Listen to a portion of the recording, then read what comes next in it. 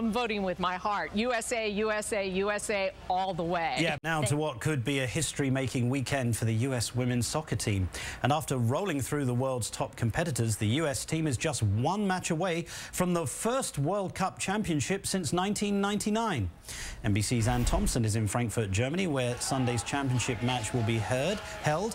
And it is a fabulous prospect. All eyes are on Frankfurt. I imagine there's a, growing sense of excitement. And also, have you got a number of Americans arriving? Well, we are expecting a lot of Americans, Martin. 52,000 U.S. Uh, military personnel are stationed here in Germany, and I can tell you the military bases are very excited about the women's um, soccer team. But we also expect Americans to come across the pond, if you will, to support this team, because certainly there's a lot of enthusiasm back home about this team. But the team is trying to block all that out at this point. They are trying to recover from uh, Wednesday's game game against France, they've had a really incredible week.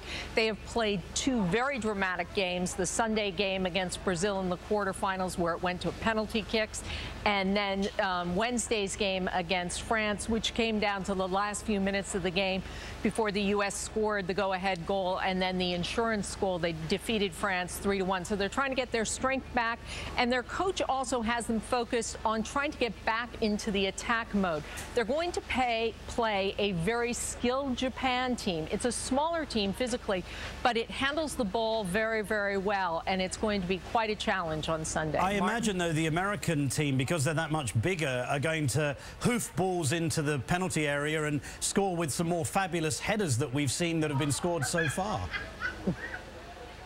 Yeah, Abby Wambach, nobody does it like her. I mean, the two, she has scored two crucial goals with her head in the last two games. And it, talking to people who follow the sport, I'm just I am the most absolute casual fan there is. But I tell you what, uh, Anne, you're doing brilliantly at giving me such a fan, fabulous exposition. You're no casual fan anymore. You're getting into this. I, yeah, I think it's it's like the Olympics. We're all going to learn, you know, know soccer really well for five days. But but talking to the reporters who follow this team, what they say is, look, the Americans have size, and what the Americans have is heart and this never say die attitude, and that's what has gotten them through the game against Brazil and the game against France. Okay, Anne. Well, now what that you're now that you're a newly skill. now that you're a newly accomplished expert in this field, what is your prediction for the game?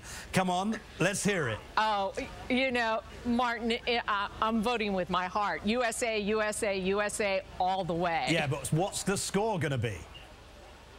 Uh, uh, um, three to two. Three USA. two. Okay, I'm saying the USA. Three two. Uh, three two. Okay, I'm saying USA two 0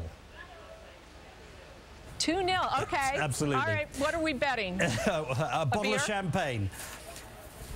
All right, even better. Absolutely. NBC's Anne Thompson on assignment there in Frankfurt. Thanks so much for joining us. Take and we'll, care, Mark. And we'll be right back.